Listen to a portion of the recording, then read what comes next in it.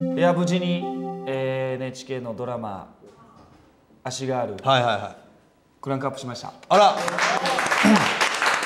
ね足があるおね疲れ様で。まあもちろんあの、はいはい。オンエアは、はいはい。あのまあ、まだあ5話6話なるほどなるほど。あーなんでまだ12話までありますから。見ましたよ私も。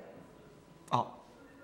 いやねすごいんですよ本当に楽屋とかでもねものすごくね、ずっと台本開いてめっちゃ覚えてるんですよ。営業先でも見てたりとかね、ですごい流せるくて大変だなと思ってて、はい。ですごいブツブツしてずっと毎回言ってたんで、まあ、練習するからね。本も当にしのすごい。かも時代劇ものっていうか僕は戦国時代の役なんで、言葉遣いとか言い回しとあか言い回しとか漢字のその読み方とかのそのイントネーションとかもこだわらなきゃいけないというか、はあはあ。自分で調べてやってますからそれはすごいずっとやってるんですよ。そうなんですよ。結構頑張ってんだなと思って、じゃあこれ見るしかないと思って私見ましたその。あ第1話を。ありがとうございます。そしたらずっと出てこないの。あれと思って、はい。おかしいなと思って最後まで行っちゃったのね。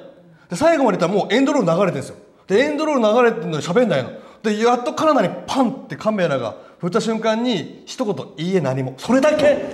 もう家で覚えろお前それは。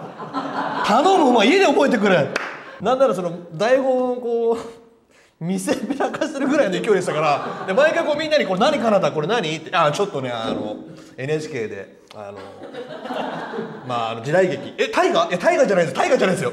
大河じゃないですけどね。毎回大河を匂わすっていう。そう。だからちょっとね役者かぶれがひどかった今月は、まあね、まあ、今月っていうかこの23か月ぐらい役者かぶれがすごいというね。まあ確かに。かぶれてたよ。かぶれてました。本当にね。本当にかぶれ倒したね